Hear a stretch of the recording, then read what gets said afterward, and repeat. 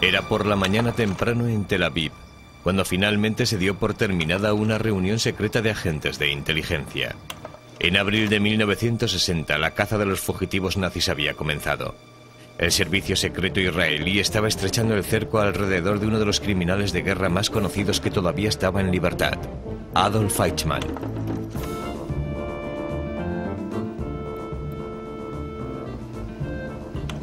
Tras haber finalizado la Segunda Guerra Mundial, incluso antes de haberse establecido el Estado israelí, los agentes judíos habían estado buscando a este objetivo, un oscuro soldado alemán que ascendió a través de los rangos de la SS hasta convertirse en el experto en judíos de Hitler y del Tercer Reich.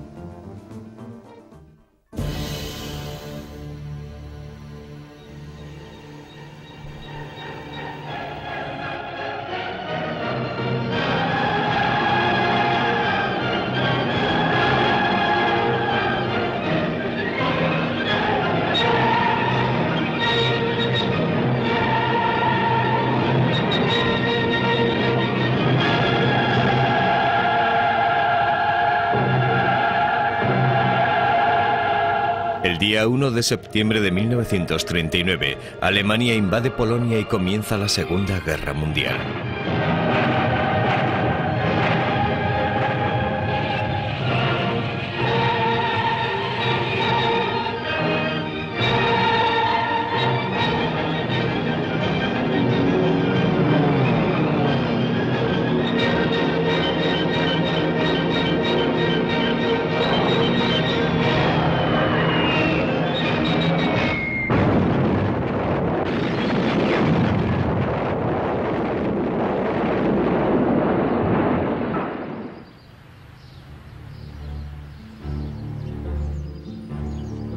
20 de enero de 1942. El encantador escenario de esta mansión en Fanse oculta el tema de la reunión que hay en su interior. Aquí, en una tranquila zona residencial de Berlín, queda resuelto el problema sobre qué hacer con los judíos. Oficiales nazis de alto rango se reúnen para decidir la suerte de casi 11 millones de personas. Adolf Eichmann, un oficial de la SS presenta un plan. Como especialista en asuntos judíos de la Oficina 4B4 de la Gestapo y de la Oficina Central de Seguridad del Reich, soy el responsable del transporte de los judíos. Según nuestras pautas, la operación será ejecutada del siguiente modo. Una vez detectado, registrado y segregado un judío, será detenido. Firmará la cesión de todas sus posesiones, que pasarán a ser propiedad del Reich. Con una maleta y 50 marcos en efectivo será llevado a un remoto entronque de ferrocarril, donde será ubicado en un vagón para ser trasladado a su destino final. El plan de Eichmann es demoníaco, pero ingenioso en cuanto a su precisión. Utilizando la red de ferrocarriles europeos, prepara el trabajo de base para una auténtica proeza de coordinación. La operación crea nuevos empleos para los alemanes. Expansiona la industria del acero, no solo para cubrir las necesidades de fabricación de armamento, sino también para la ampliación de las nuevas líneas de ferrocarril. Los vagones que llevan su cargamento humano a los campos regresan cargados de mercancías para ser despachados a todo el continente. Se trata de una operación comercial cuidadosamente planeada e inspirada en una confabulación para cometer un asesinato en masa.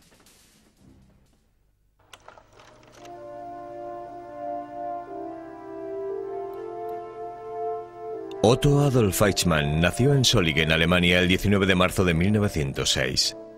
Cuando tenía ocho años de edad, la madre de Eichmann fallece y la familia se traslada a Linz, Austria, donde su padre se vuelve a casar. Viven en un apartamento del segundo piso del número 32 de Landstrasse. La madrastra de Eichmann es una mujer severa y dominante. Su padre trabaja en la compañía de tranvías y electricidad en el número 6 de Museumstrasse. Adolf Eichmann es retraído, un muchacho solitario y sin amigos. En la escuela lo ridiculizan por su tez oscura de aspecto casi semítico. Burlonamente sus compañeros de clase le llaman Der kleine Jude, el pequeño judío.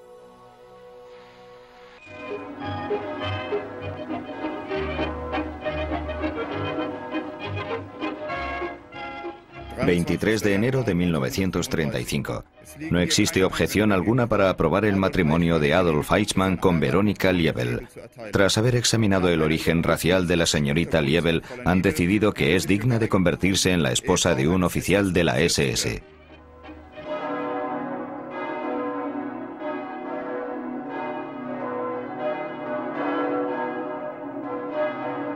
Verónica Liebel es una devota católica procedente de Checoslovaquia. Se casan y se trasladan a una casa de campo situada en las afueras de Berlín. Allí nace Klaus, el primero de sus cuatro hijos. Con su uniforme de la SS, Eichmann es la personificación del poder. Un infalible oficial nazi con debilidad por las mujeres. Tiene varias aventuras amorosas, incluida una con María Musenbacher. Una relación que posteriormente le costará caro.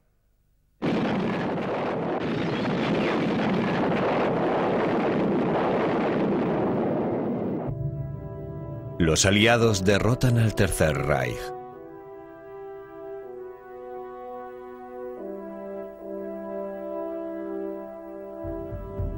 Es el 8 de mayo de 1945.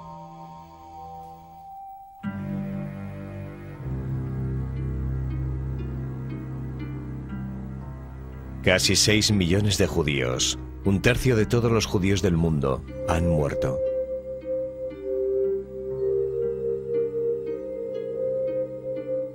Al terminar la guerra, los nazis tratan de eliminar las pruebas de sus crímenes.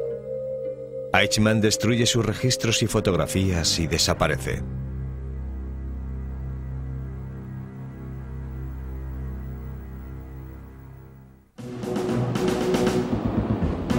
La búsqueda de Eichmann es dirigida por judíos que llegan de Palestina. Una unidad de inteligencia del Hagana, el ejército judío clandestino, envía un agente a Viena, Austria.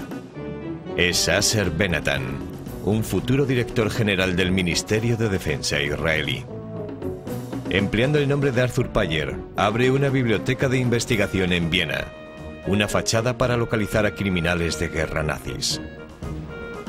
Arthur cree que Eichmann está escondido en algún lugar de su Austria nativa le asigna a un agente la misión de localizar a la esposa de Eichmann. Manos Diamant es un hombre de encanto persuasivo y habla alemán con fluidez. Localizamos el paradero de su esposa en Badehaus, una zona turística a unos 30 kilómetros de Linz. Allí se esconde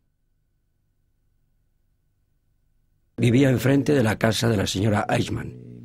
Y por casualidad, o tal vez no tan casualmente, llegué a conocer a los niños.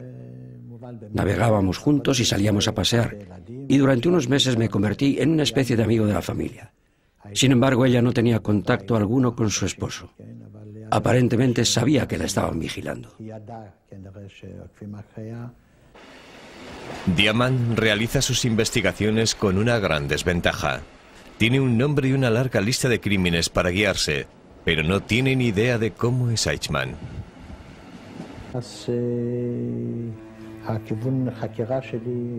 Por lo que la base de mi investigación consistía en buscar una foto de Eichmann. Y recurriendo al trabajo de inteligencia, localicé al amante de Eichmann.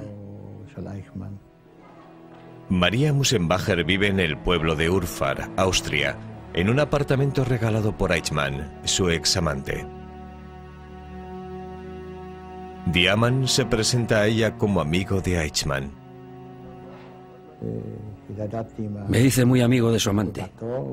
Fui a su casa unas cuantas veces y siempre saqué el tema de fotografías y cámaras. Y luego, una noche, sacó un álbum de fotografías y me dijo, este es mi Adolf. Aquello fue suficiente para mí, por supuesto. Cogí la fotografía y se la llevé a Arthur. Y él me dijo algo que nunca olvidaré. Manos me dijo, este es el primer paso para la captura de Eichmann.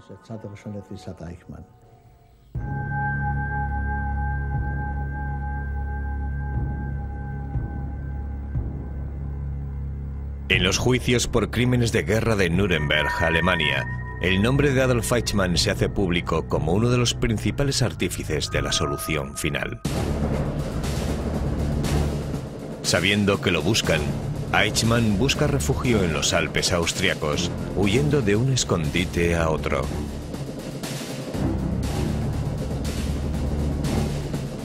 Cuando ya no tiene a dónde huir, lo detiene una patrulla del ejército americano y es encarcelado en un campamento de prisioneros de guerra.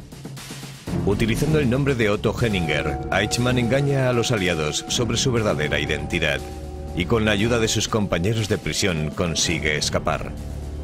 Le proporcionan un contacto con un campamento de madereros del norte de Alemania y consigue trabajo. En el extremo del bosque, aislado del mundo exterior, Otto Henninger lleva una vida oscura durante casi cuatro años.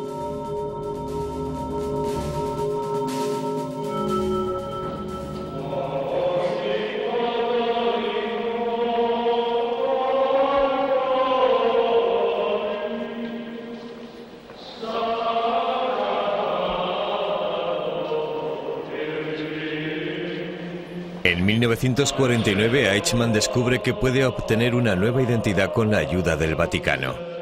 Llega a Roma y encuentra refugio en un monasterio franciscano en Via Frascati. Eichmann se pone en contacto con la Asociación de San Rafael, una organización del Vaticano que ayuda a los refugiados, incluidos los fugitivos nazis. La Asociación de San Rafael todavía existe y tiene oficinas en Cleveland, Ohio. Eichmann conoce al padre Anton Feber, quien le proporciona los documentos necesarios para huir de Europa. El padre Feber fue entrevistado para un libro por la autora Gita Sereni.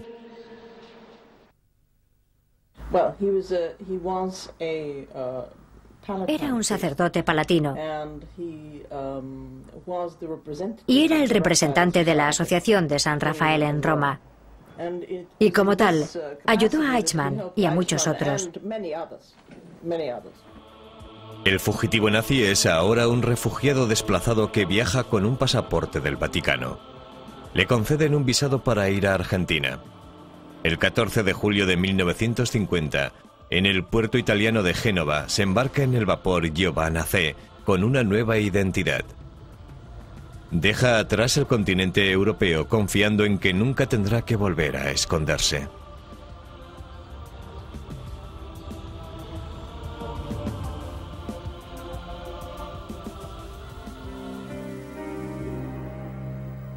En 1948 se crea el Estado de Israel.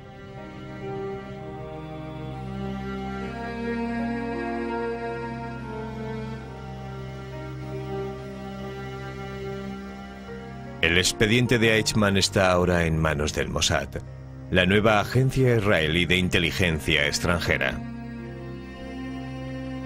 Isher Harel es uno de los primeros directores del Mossad.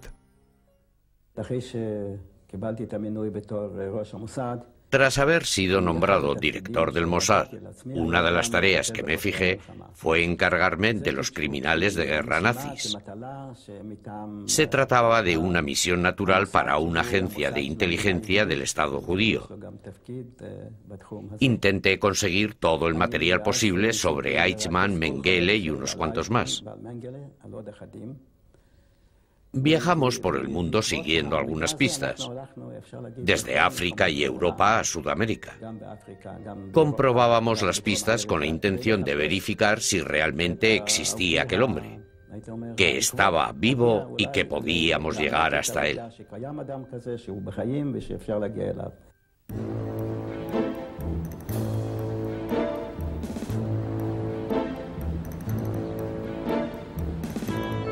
Adolf Eichmann llega al puerto de Buenos Aires en agosto de 1950.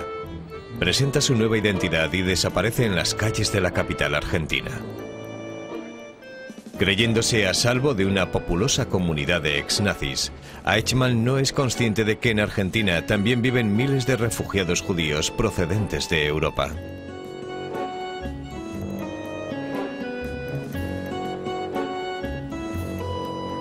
A los 44 años de edad, Eichmann comienza una nueva vida. Alquila una habitación en una pensión local y consigue un empleo en Capri, una empresa de construcción alemana de la calle Corrientes 374. Con los conocimientos obtenidos durante su preparación técnica en Linz, a Eichmann le encargan la medición e inspección de tierras en la provincia de Tucumán, en la frontera del norte de Argentina.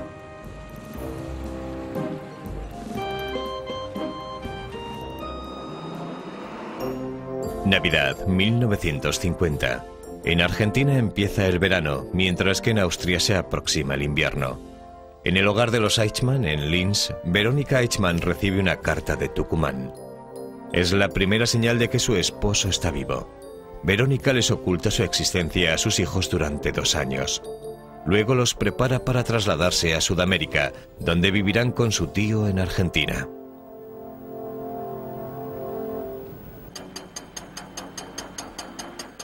Tras un viaje de cuatro semanas, Verónica Eichmann y sus hijos llegan a Tucumán.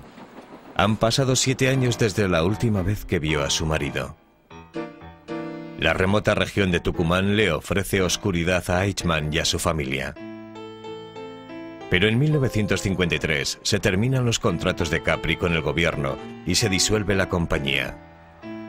Eichmann abandona el santuario de las montañas y las llanuras para llevar una vida más visible en una zona residencial de Buenos Aires.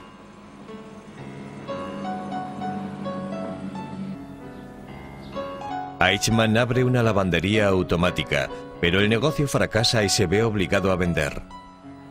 Consigue un empleo en el almacén de una fábrica de metales, pero pronto es despedido. Luego dirige una granja de conejos que acaba en la bancarrota. El que había sido el cerebro de la solución final, como civil es incapaz de conseguir un empleo fijo. Finalmente consigue emplearse en la Mercedes-Benz de Argentina y empieza a encontrarse cómodo.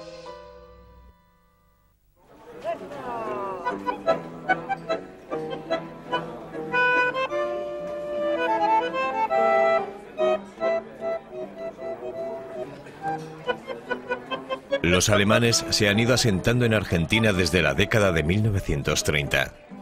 En Buenos Aires, una ciudad de diversidad cultural y tolerancia, los nazis exiliados han encontrado un refugio seguro.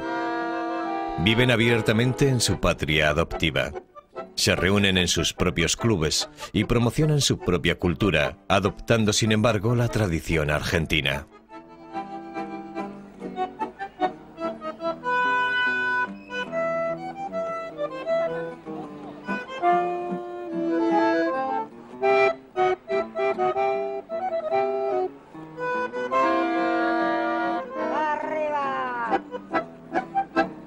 Argentina ha sido descrita como el último búnker del nazismo alemán y su dictador Juan Perón como un admirador del fascismo europeo. Dentro de la comunidad alemana de Buenos Aires, los criminales de guerra viven al lado de sus víctimas.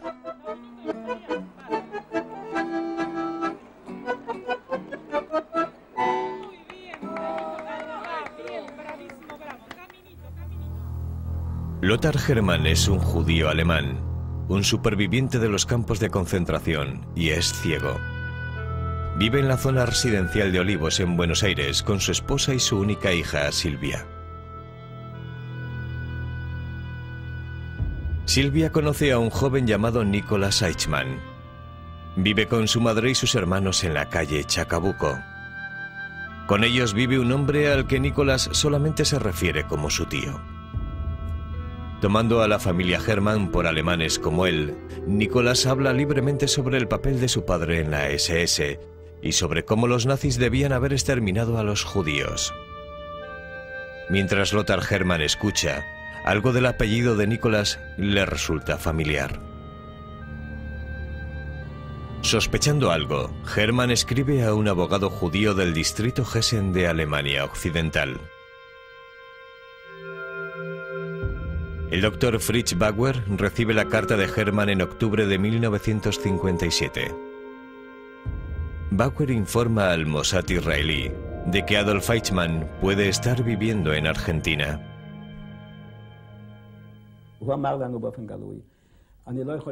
Nos dijo abiertamente, no puedo confiar en el Ministerio Alemán de Asuntos Exteriores. No puedo confiar en los consulados alemanes de Sudamérica ni de otros lugares del mundo. Y en un asunto tan crítico ni siquiera puedo confiar en mi propio personal.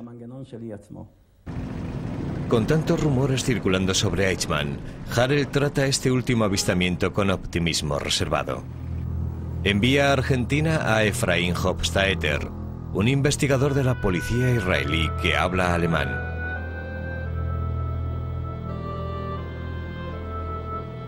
Hofstadter cree que Hermann y su hija son de confianza.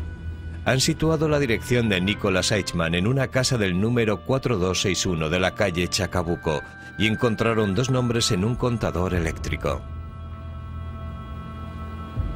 Uno es Clement, el otro es Dagosto. También descubren que el solar de la casa está registrado a nombre de Francisco Smith, un ciudadano austríaco. Hermann no tiene duda alguna de que la verdadera identidad de Smith es Adolf Eichmann. A Efraín Ilani, el agente del Mossad destinado en Argentina, le ordenan que investigue a Smith.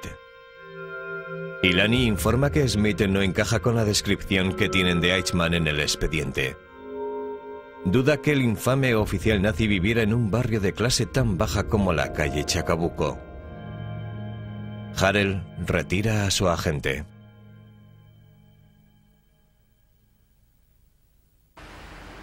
En 1959, dos años más tarde, en Alemania Occidental el doctor Fritz Bauer recibe información sobre Eichmann de una fuente anónima. Le envía otro mensaje a Harel. Bauer ha descubierto que el alias de Eichmann en Argentina no es Smith, sino Ricardo Clement. Sin embargo, pasan dos meses y no se toma acción alguna sobre esta última pista. Dispuesto a que investiguen el nombre de Clement, Bauer viaja a Israel para reunirse con su colega Haim Cohen, el consejero legal del gobierno israelí. El abogado alemán vino a Jerusalén en diciembre del 59, furioso porque sabía instintivamente que habíamos fallado en una investigación que nos había pedido que hiciéramos. Y se reunió con Hein Cohen, quien le pidió a Iser que viniera y dijeron, mire, tenemos que terminar esto de una vez por todas. Luego Hein Cohen llamó a Iser y le dijo, mire, ya está bien, quiero que Cia Jaroni vaya a Buenos Aires y compruebe esta información de una vez por todas, si es verdad o no lo es. E Iser no pudo negarse. Quiero decir que no obedecía órdenes de Hein Cohen. Solo obedecía las órdenes del primer ministro, pero no se podía negar a la petición hecha por Bauer y Hein Cohen. Y dijo, de acuerdo, vete. En febrero de 1960, Zia Haroni, el agente del Mossad, viaja a Buenos Aires para buscar al hombre que puso en práctica la solución final.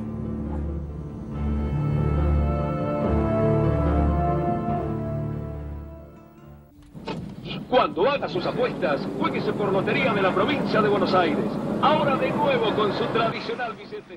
llega a Buenos Aires viajando como un tal señor Rodan, con un pasaporte diplomático israelí.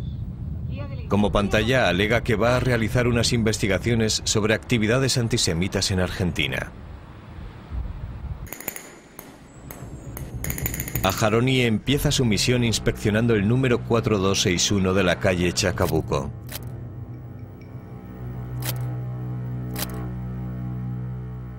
Para evitar sospechas envía a un voluntario local a inspeccionar la casa. Está vacía, con la excepción de unos pintores.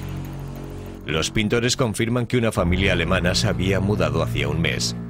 El apellido Clemen aún sigue en el contador eléctrico. Aharoni trata de descubrir su nueva dirección. El 4 de marzo, según mi expediente, era el cumpleaños del hijo mayor de Eichmann y pensé que debía utilizar aquel dato. Compré un regalo, un encendedor, un encendedor bastante caro. Lo envolví en la embajada y una de las chicas de la embajada escribió, para mi amigo Nicky con mis mejores deseos. Y llamé a otro muchacho, a uno de aquellos ayudantes judíos, y le dije, Lleva esto a Chacabuco y pregunta por Nicolás Clement. Se trataba de que, como siempre, y lo sé por experiencia, La gente está más dispuesta a ayudarte si hay algo que entregar. Si quieres conseguir algo, digamos que me debe dinero y lo estoy buscando, no se esfuerzan tanto en ayudarte. Esta vez los pintores le dicen al voluntario que un hijo de la familia Clement sigue trabajando en un garaje cercano. Allí le entrega el encendedor a Dieter, el hermano de Nicolas Eichmann. Decidí que teníamos que seguir a Dieter cuando saliera del trabajo. Tenía que ir a casa y entonces descubriríamos dónde vivía.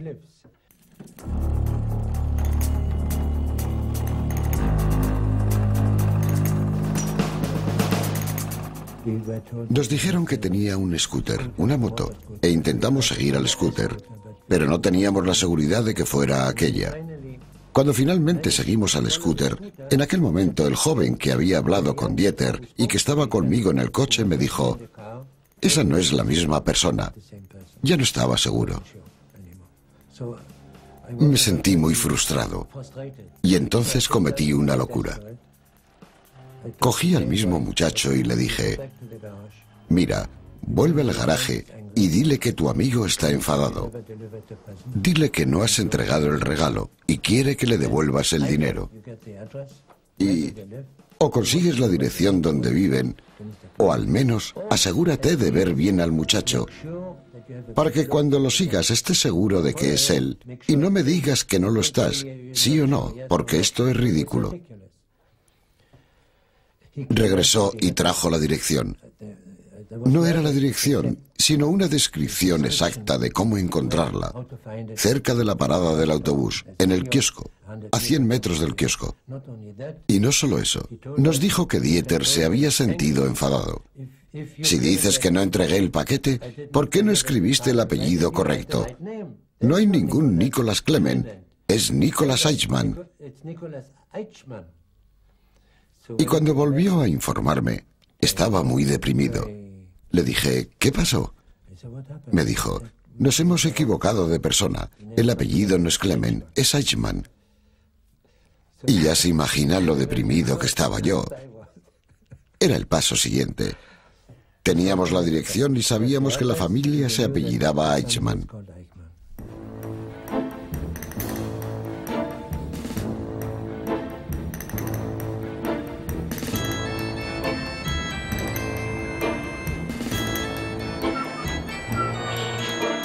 La familia Eichmann se había mudado a San Fernando, una comunidad pobre en las afueras de Buenos Aires.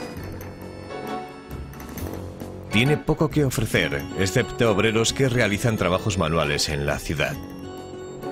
La mayoría de las casas no tienen agua corriente, ni instalación de agua, ni electricidad. Ni una dirección que se pudiera ubicar.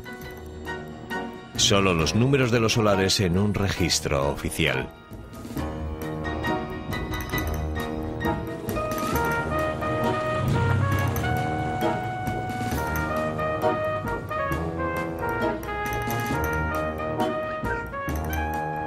Aharoni cuenta con la ayuda de otro voluntario. Anaftali, un arquitecto, le pide que averigüe el nombre del dueño de una casa concreta de la calle Garibaldi. Dos días después, volvió con una sonrisa de oreja a oreja. Aunque yo nunca había mencionado el apellido Eichmann, no sabía lo que buscaba, pero se lo suponía, y me dijo, he encontrado al propietario registrado del Solar 18 que es Verónica Liebel de Fishman. Y aquello significó tres cosas para mí. Número uno, sabíamos que la esposa de Eichmann se llamaba Verónica Liebel antes de casarse con él. Número dos, entre Fishman y Eichmann solo falta un trazo de la E. Así que o era un error de la persona que lo había registrado, o la familia Eichmann había planeado que no figurase su apellido. Pero la información más importante era el hecho de que lo habían registrado a nombre de ella, lo que en mi opinión significaba que él no quería figurar como dueño y que ella seguía casada con él. A la mañana siguiente, Ajaroni vigila la casa.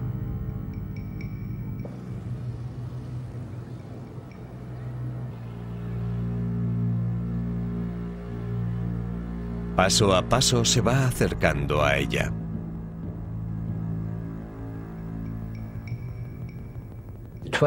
Las dos veces que mejor pudimos observarla fueron desde la camioneta cubierta con una lona en la que habíamos hecho un agujero. Yo estaba tendido en la parte trasera y después de pasar una o dos veces vi a la mujer, a una mujer mayor, que luego supimos que era su esposa.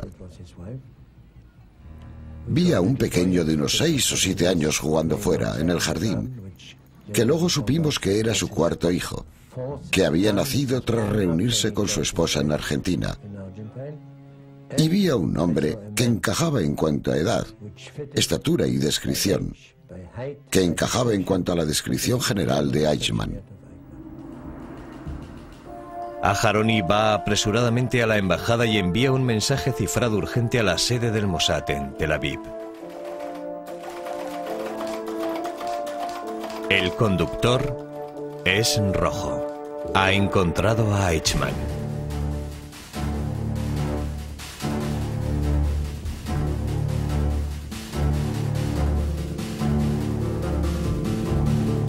Aharoni se aproxima más aún a la casa.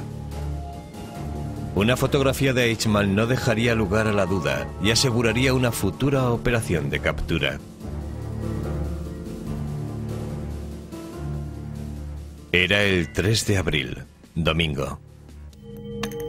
En el puente del ferrocarril, a varios centenares de metros de la casa, Ajaroni le explica a Randy, otro ayudante, cómo utilizar la cámara del maletín. Espera hasta que observa que Eichmann sale y luego envía a Randy hacia la casa para que se encuentre con él.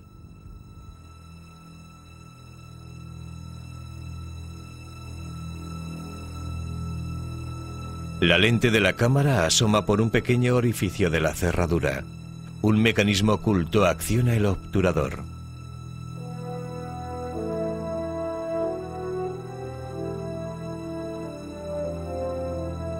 Ajaroni observa ansiosamente desde lejos, mientras Randy se aproxima a Eichmann y a su hijo Dieter. Según han planeado, Randy tiene que preguntarles si hay alguna casa en venta en esa zona.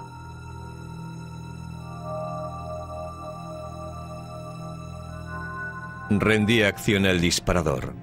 Los resultados son fotografías del tercer hijo, Dieter. Y las primeras imágenes nítidas de Adolf Eichmann en 15 años.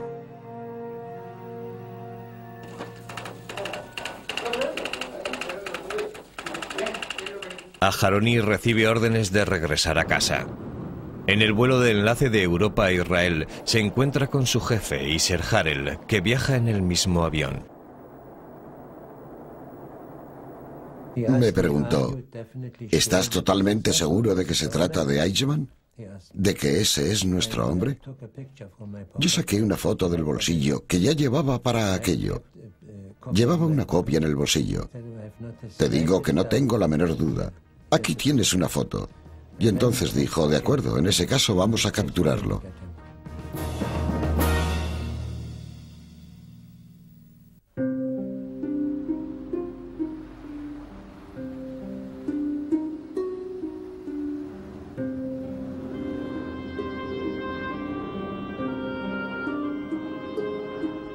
Una cálida tarde de Tel Aviv, en abril de 1960, Iser Harel informa al primer ministro Ben Gurion que Eichmann ha sido localizado. El líder del Estado judío está obligado a llevar a Eichmann a Jerusalén. Había un tema que preocupaba a Ben Gurion y me ordenó que le diera una solución concreta. Según la ley israelí, si lo llevábamos por la fuerza, no mediante la extradición, ¿sería posible juzgarlo en Israel legalmente? Recurrí al consejero legal del gobierno, que entonces era Jaim Cohen, y le revelé nuestros planes, lo que ya de por sí resultaba problemático, puesto que él era el encargado de aplicar las leyes de la nación y yo le estaba diciendo cómo las iba a infringir. La respuesta de Jaim Cohen fue positiva. La naturaleza sin precedentes del crimen hace que el procedimiento legal internacional sea prácticamente imposible. La opinión de Cohen es que lleven a Eichmann a Israel por la fuerza para que allí sea juzgado.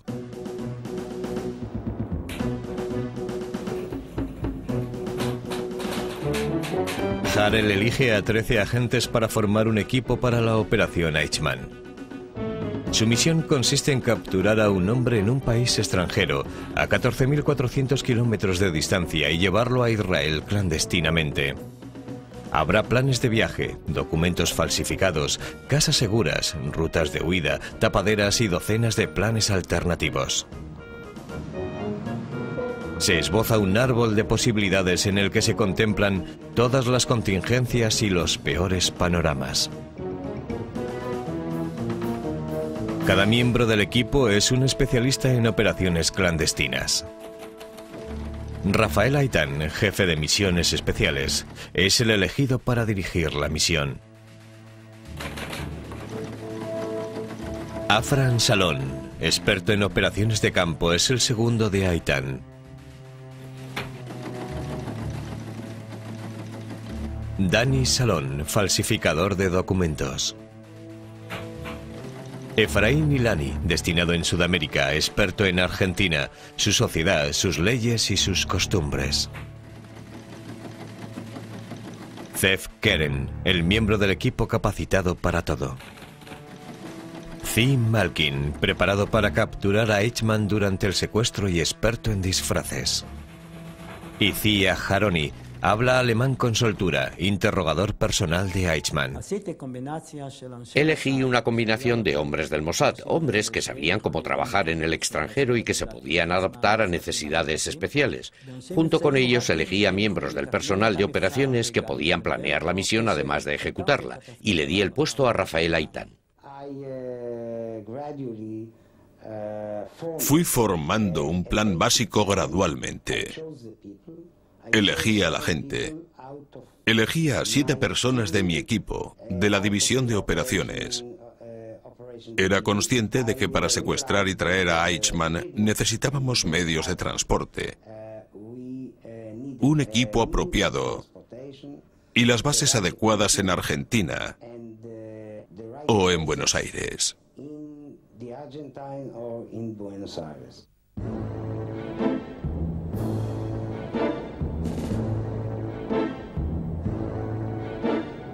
El 22 de abril, Zia Haroni, el agente del Mossad, regresa a Buenos Aires como un hombre de negocios alemán, parte de un equipo de avanzadilla de cuatro hombres.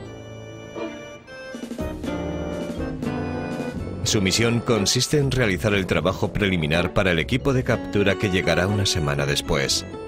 Finalmente se unirá a ellos Iser Harel, el jefe del Mossad. Hay tanto en juego que Harel correrá el inusual riesgo de seguridad para dirigir la operación personalmente. El mismo día que llega el grupo de avanzadilla, el director segundo Afran Salón insiste en ver la casa que Zia Haroni había localizado. A las 8 de la tarde, los cuatro miembros del equipo van en coche a San Fernando observan algo que iba a ser vital para planear el secuestro. Mientras pasábamos por delante de la casa, entre el kiosco y la casa, que solo está a unos 100 o 150 metros, vimos a Eichmann que iba caminando por la calle hacia su casa.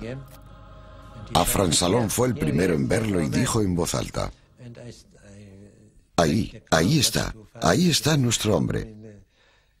Frené el coche demasiado bruscamente. No había motivo alguno para aquel frenazo, y eso pudo haberle preocupado. Pero como decía, frené el coche y observamos cómo caminaba por la calle hacia su casa. Y en eso tuvimos suerte realmente, porque resultó que todas las tardes volvía a casa en el mismo autobús, a eso de las ocho, y caminaba hasta su casa.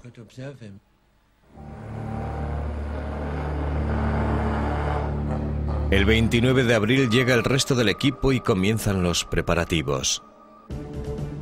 Se elige una farmacia local para cualquier fármaco que pueda necesitarse. Se compran artículos de ferretería para construir un cuarto sellado dentro de una casa segura. Se llega a un acuerdo con una tienda de fotos para revelar por la noche los documentos falsificados por el agente Danny Salón. El equipo alquilará varias casas seguras con unos requisitos muy concretos. Tienen que ser grandes y situadas en vecindarios de clase alta para que les garanticen privacidad. Tienen que tener más de una entrada, un garaje anexo con capacidad suficiente para dos coches y un cuarto sellado en el piso superior para retener a Eichmann y todo invisible desde la calle. En una reunión que tiene lugar por la noche en la casa segura principal, los agentes finalizan el plan de captura. Este mapa original muestra la parada del autobús de la ruta 202, a la que se espera que llegue el autobús 203 a las 7.45 de la tarde. El objetivo caminará hacia su casa por la calle Garibaldi. Los secuestradores le esperarán aquí, con el coche de apoyo aparcado a varios metros de distancia. Tras capturar al objetivo, ambos coches abandonarán la zona, siguiendo una ruta designada anteriormente hasta la casa segura.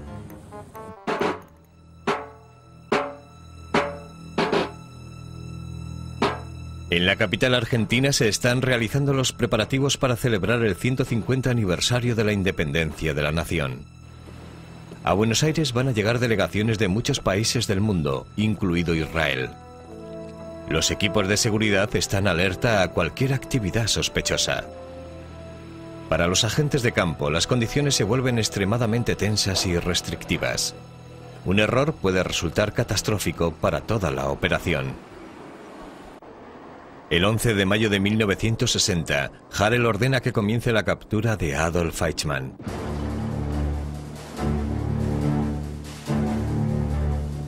El coche del secuestro es conducido por Zifa Haroni, acompañado por Zip Keren. Sentados en el asiento trasero están Rafi Aitan, el jefe de la operación, y Zim Malkin, encargado de capturar al objetivo. Afran Salón está al volante del coche de apoyo con el doctor preparado por si se diese una urgencia médica. Zikeren va a mirar debajo del capó fingiendo estar inspeccionando el motor.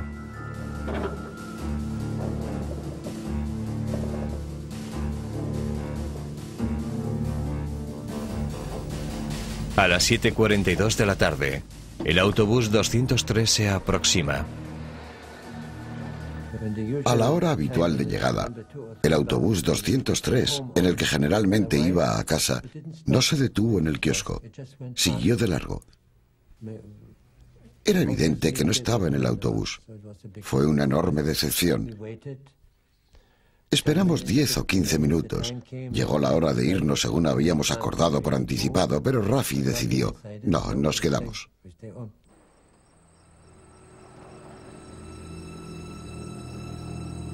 8.05 de la tarde. Se aproxima un segundo autobús.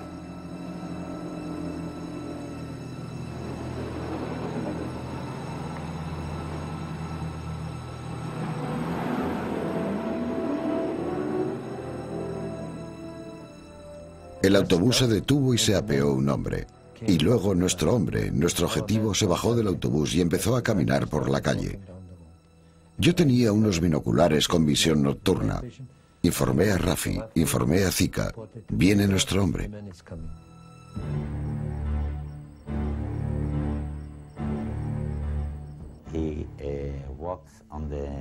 Caminaba por la calle Garibaldi a unos 50 metros de su casa. Y allí esperaba yo. Y estaba un poco lejos porque no quería que me viera llegar cuando me acercara. El agente Zim Malkin espera el momento para el que se ha estado preparando. Al acercarse el objetivo al coche, a Haroni se da cuenta de algo en lo que no se había fijado antes. Le señalé con la mano a Zika y le dije, ese hombre lleva una mano en el bolsillo, cuidado por si tiene una pistola. Se te mete en la mente, no puedes evitarlo. E hice un pequeño cambio. Tendría que sujetarle la mano y sujetarlo a él con la otra mano. Y empecé a caminar.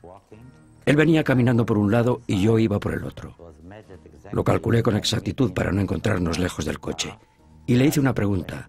La única frase que sabía en español era, un momentito, señor. Nos miramos y vi miedo en sus ojos. Y dije, un momentito, ni siquiera terminé la pregunta. Y él retrocedió. Me abalancé sobre él y caímos en una zanja. El hombre empezó a gritar, a chillar, a dar alaridos, y me pareció que lo podían oír a un kilómetro de allí. Fue muy desagradable. No quería hacerle daño, ya que al hacerle daño se le podía romper el cuello o algo así. Y le di la posibilidad de respirar, y él aprovechó la oportunidad para gritar. Salí del coche. Se resistió cuando lo agarré por las piernas. Zika lo sujetaba y todos forcejeábamos. Y entonces Zia Jaroni me dijo, Rafi, deberías ayudarles. Entre los tres lo arrastraron hasta el coche. Lo taparon con una manta y empezó la carrera.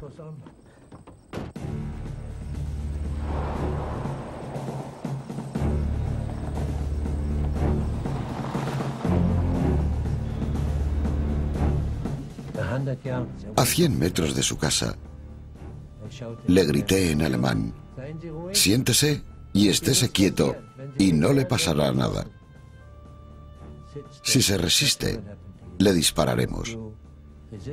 Lo mataremos. Silencio, no pasa nada. Y le grité en alemán, ¿ha entendido?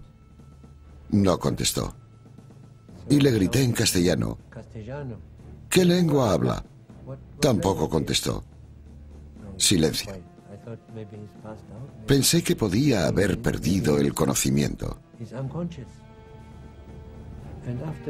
Después de habernos alejado de medio kilómetro a un kilómetro aproximadamente, es decir, al cabo de unos tres minutos, le oí decir muy claramente, empleando un alemán muy bueno, ya me he resignado a mi suerte. Aquel fue un indicio muy importante. Supe que aquel era nuestro hombre. Era alemán. No estaba muerto. No estaba inconsciente. Y algo le remordía la conciencia. Se había encontrado con su suerte. Como precaución, el coche gira y se desplaza en dirección contraria. El coche de apoyo va siguiendo al coche de huida, listo para intervenir si surgiera algún problema con la policía. Los coches se detienen tres veces para cambiar de matrícula. A las nueve de la noche llegan a la casa segura.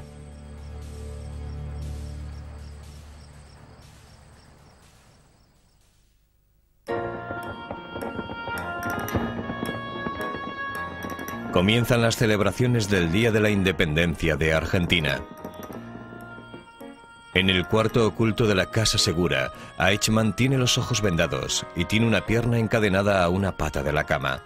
El ex oficial nazi es vigilado día y noche. Le permiten afeitarse y bañarse y lo alimentan con comida judía.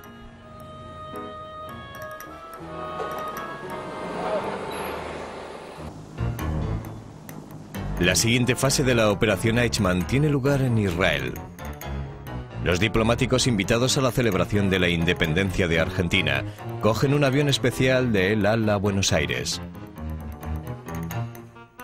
Al no haber servicio regular de Israel a Argentina, Harel le había pedido específicamente a la compañía aérea que preparase aquel vuelo sin precedentes. El vuelo 4X AGD de El Al, un Bristol Britannia con turbopropulsión, aterriza en el aeropuerto de Ezeiza. Lo maneja Zid Tojar, el piloto de más experiencia de la compañía aérea, seleccionado por sus muchas horas de vuelo. La delegación que llega a Argentina encabezada por el ministro Abba Eban no es consciente de que el avión se va a utilizar para sacar a Eichmann de Argentina clandestinamente. 21 de mayo. El día de la marcha ha llegado.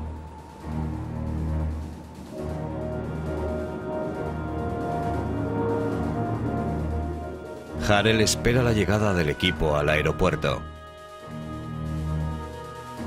En la casa segura le dan un sedante a Eichmann. Lo visten con el uniforme de un tripulante de El Al. un pasaporte falsificado le da al ex-nazi una nueva identidad como ciudadano israelí. Sedado, lo llevan en coche al aeropuerto.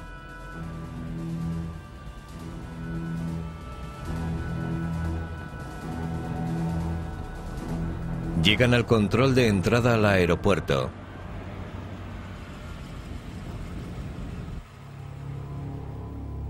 Y se les permite el paso. Nadie parece darse cuenta de que la furgoneta va hacia el avión directamente y suben a Eichmann a bordo.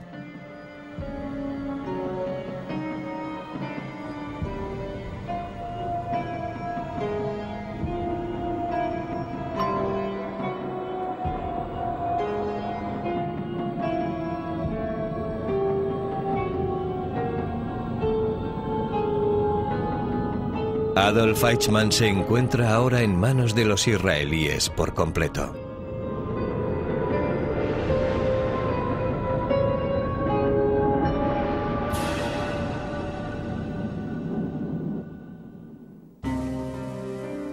El juicio comienza el 11 de abril de 1961. Por primera vez, unos judíos se sentarán a juzgar los crímenes de guerra cometidos contra su propio pueblo. El juez Moshe Landau del Tribunal Supremo israelí, nacido y educado en Alemania, preside la sesión. Los cargos contra Eichmann son presentados bajo la ley de 1950 para nazis y colaboradores de los nazis.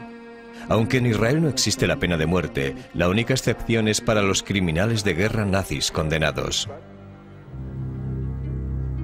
Se les pide a más de 100 supervivientes que relaten sus horribles historias personales por primera vez. Se presenta documentación sobre las propias órdenes de Eichmann. El fiscal demuestra que Eichmann había ejercido su propia autoridad. Los jueces anuncian su decisión a una sala en silencio.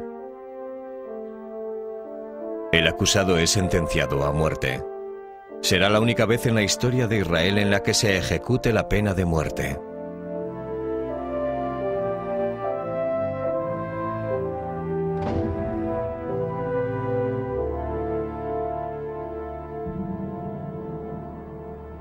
A medianoche del 31 de mayo de 1962, Adolf Eichmann es ahorcado.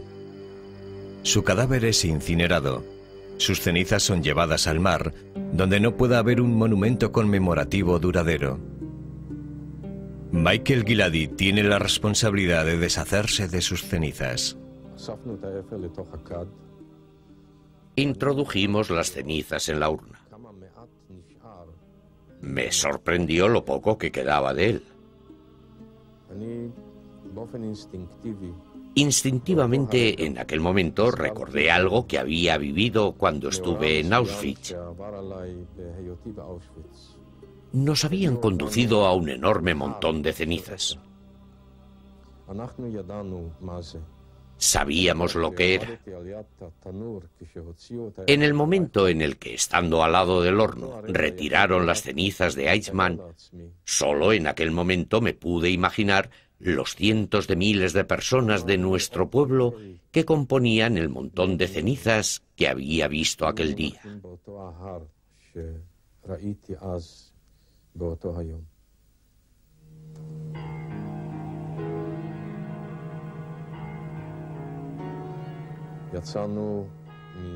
Nos adentramos más de seis millas en el mar. Salimos de las aguas territoriales de Israel y luego esparcimos las cenizas.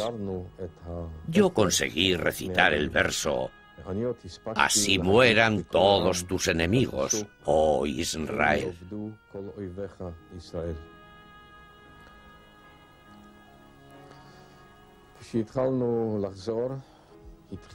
Cuando emprendimos el regreso, empezaba a abrir el día.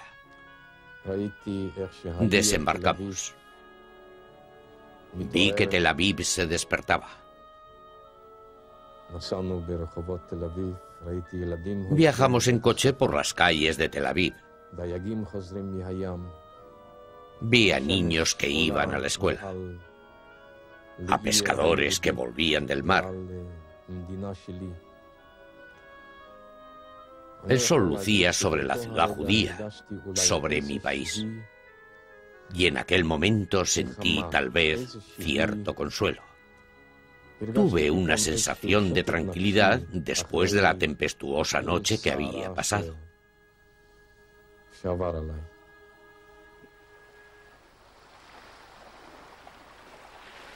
De todos los miles de criminales de guerra nazis, solo unos cuantos llegaron a ser juzgados. El juicio de Adolf Eichmann no fue motivado por querer vengar sus crímenes, sino por creer en la justicia para sus víctimas y para cerciorarse de que el mundo lo sabría.